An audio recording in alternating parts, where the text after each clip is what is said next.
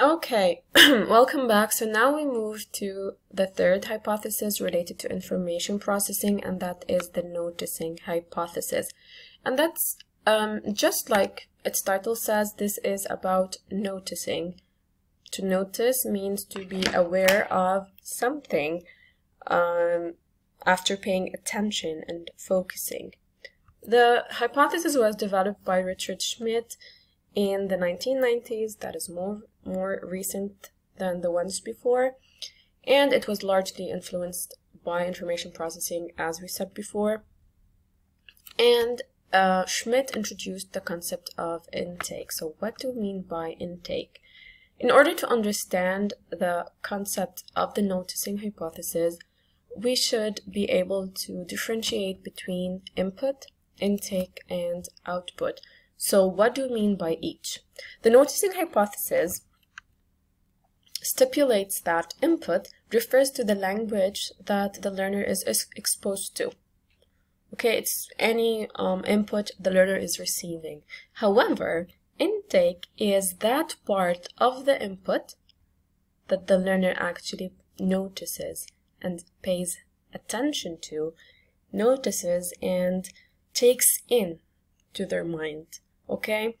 So sometimes you might be receiving language input. However, you do not notice what is happening that is related to phonology or morphology or syntax, etc. So when the learner notices the input they are receiving, this is called intake. Uh, memorize it this way. It's like taking information in.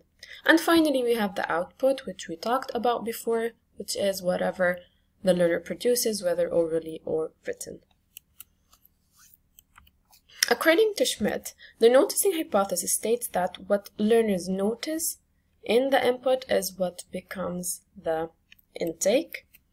And noticing does not itself result in acquisition. So here Schmidt was not explaining acquisition, but he was explaining the starting point of acquisition. This is why all of these hypotheses we are talking about are actually related to each other. Therefore, we start with noticing and then we move to other things um, like interaction and later output, etc.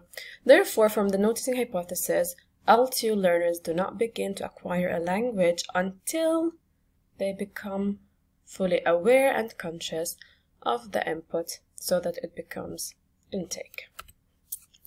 According to Schmidt, there are a lot of factors that lead to noticing. So the question here is, do learners always notice language features? And the answer is no.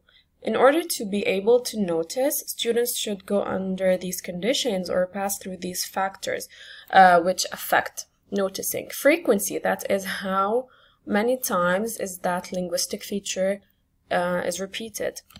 Perceptual salience, that is how salient, how clear or noticeable the linguistic feature is to be able to be perceived. Perceptual comes from perceived, that is noticed and um, uh, engaging uh, the mind of the learner. Three, instructional strategies followed by the teacher. Individual processing ability is that person able to process and notice. Readiness to notice. Um, is the learner motivated enough? Are they ready to notice? And finally, task demands. We know that when it comes to language classes, um, we have different tasks and each task has um, a certain target that the learners have, uh, learner has to accomplish. And based on this, um, we we could know if the learner will notice the linguistic features or the rules. Okay. According to the noticing hypothesis, um, Schmidt discussed two types of learning, implicit and explicit. And if you remember from Krashen's monitor model, one of his hypotheses was the acquisition learning hypothesis, in which he distinguished between subconscious automatic acquisition and conscious learning. And this is kind of similar of what we have here in the noticing hypothesis. Implicit learning is any learning that happens without awareness, that is subconscious, okay, and it eventually leads to implicit knowledge. It's the knowledge of L2 that underlies learner's performance, but of which he or she is not directly aware. They know these words, they know these pronunciations, these grammatical features. However, they're not aware that they know them, like they did not notice in order to get them. And then we have explicit learning, which um, needs attention, needs a lot of focus, and it becomes explicit knowledge. I know the rule of the vocabulary, a grammar, sentence structure, etc.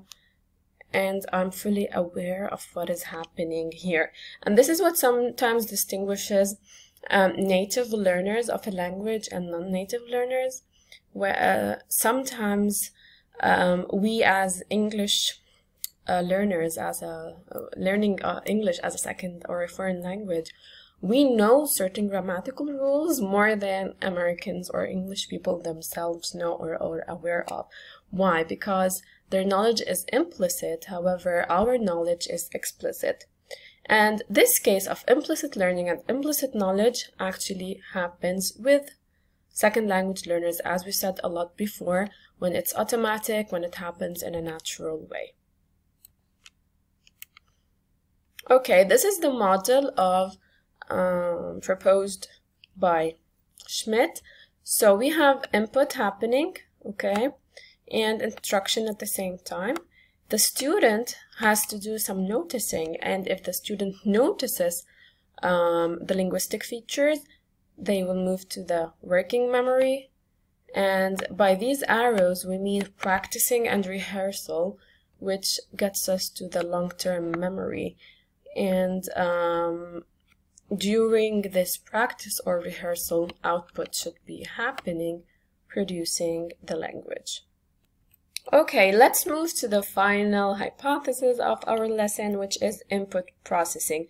Remember um, this by relating it to our information processing. Again, when we say information processing, we're talking about attention, memory, and finally uh, processing. Remember the model, how when we pay attention, uh, the, uh, whatever we have moves to the short-term memory. Once we practice it, it moves to the long-term memory, and when it moves to the long-term memory, it is uh, language is acquired. Now we're talking about input processing, how the learner processes uh, the input that is received. So this was uh, proposed by Bill VanPatten in the 1990s, 2000s, more recent, and again influenced by IP. And VanPatten proposed a certain distinguishing between form and meaning, and this is the basic thing we will see here. It is also a very short hypothesis and direct to the point. According to VanPatten, um, it is a model of how learners make form meaning connections. When we talk about form miss, we are talking about language features, lang linguistic rules, etc.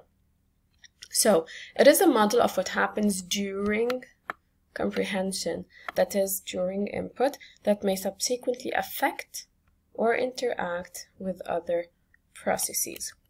Therefore, according to VanPatten, um, this model was based on certain assumptions, certain beliefs, of course based on observations, etc.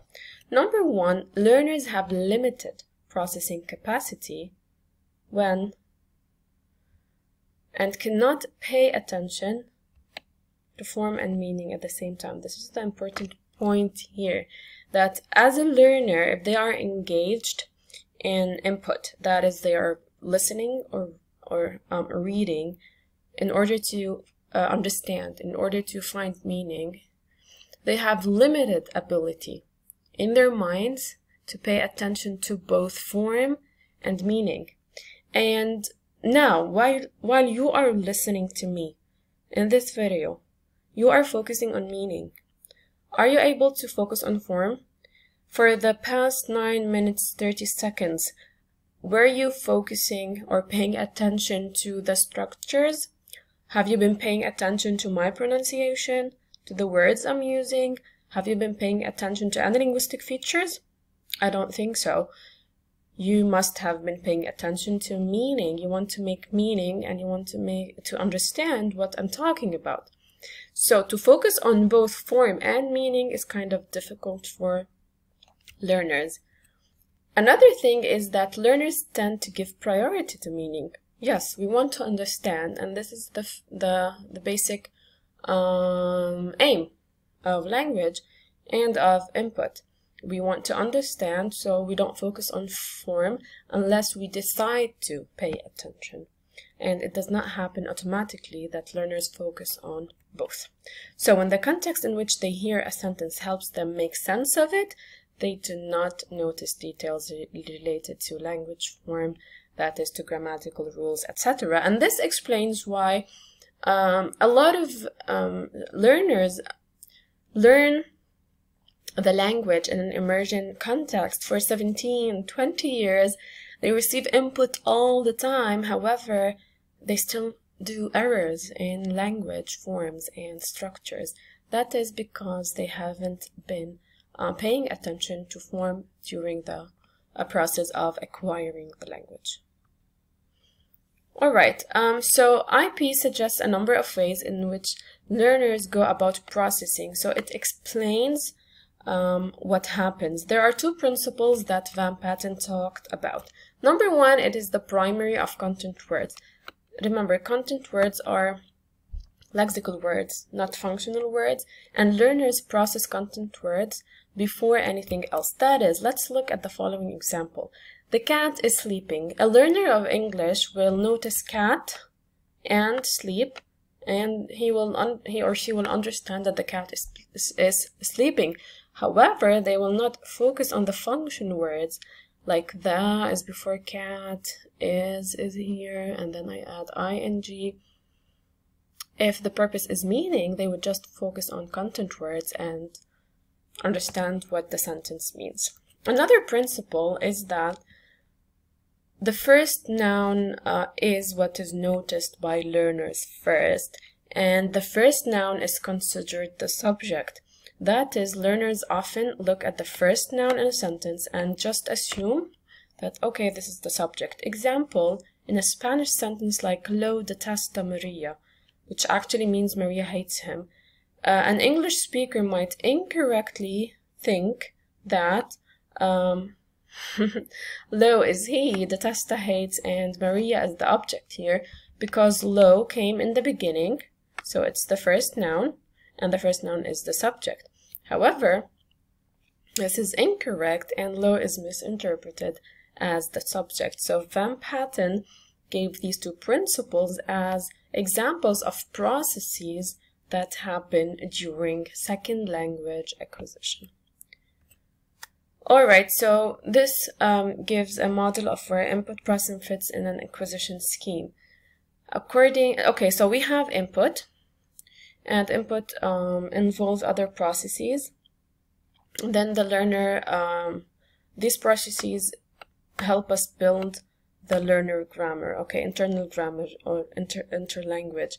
So input processing comes here to explain what is happening before other processes happen in the mind in order to produce language.